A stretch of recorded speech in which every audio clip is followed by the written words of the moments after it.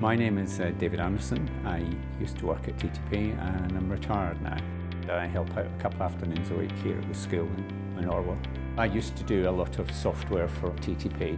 Sort of my background is right up this street really.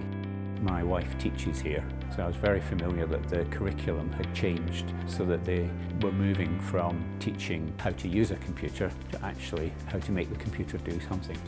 There's a number of the technologies and packages you can use on a computer itself. But I also came across uh, the idea of using Lego, which actually fits with what TTP does, because instead of doing a sort of IT application that sits on a computer, what this does is allow you to program something with sensors and motors that behaves in the real world. We've been really lucky because David Anderson has been able to come and work throughout the school with lots of different classes, helping us with uh, programming, uh, with Lego programming. What we did today was what I would call a light challenge, so where we gave them some instructions to start with and then they took it from there. So I didn't tell them how to program it and make it do what they were doing. Some of the ideas they come up with are just great because they're so comfortable with the idea of building something in Lego, building a program that they can think about other things and, oh, how you could do that. I think the way the children go about it is very different to how adults go about it.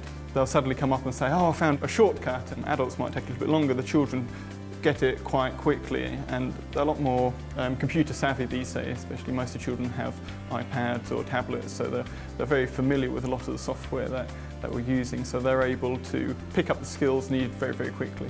It uh, doesn't feel like a proper lesson, it feels like a really cool like free time bit because you get to design and make and customize so you're not being put on or you've got a bit of instructions but after you've made it and done it you can program it to do anything you want so it's better because you can more do it yourself.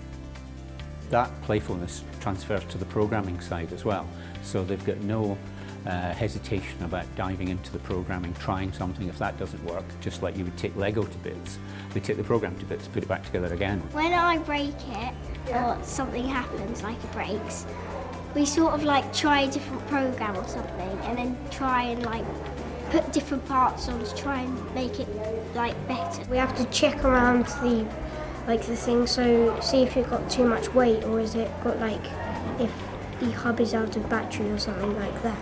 Well, I go back, we add some stuff on or take some stuff off. And I would change the things that would make it move. So, say I had to start a move and then wait three seconds and move. I would probably take the wait three seconds out and put a turn thing so it would make it go like that or make it just go like that. Since the new curriculum uh, came into force, there's a much more focus on computing and programming rather than sort of ICT secretarial skills. This is a really important change. Schools are now having to teach coding and be confident to teach that. I think it's really important that schools have the resources needed to teach this effectively and we've been really lucky that TTP have been able to supply us with this LEGO programming because it gives us the confidence as teachers, as educators to be able to show the children and demonstrate and teach them how to actively use programming and coding skills in a way which is exciting and fun and accessible to them.